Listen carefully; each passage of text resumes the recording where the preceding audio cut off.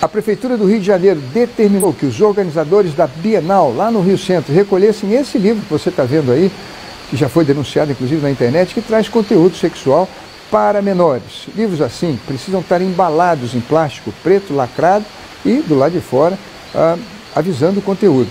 Portanto, a Prefeitura do Rio de Janeiro está protegendo os menores da nossa cidade.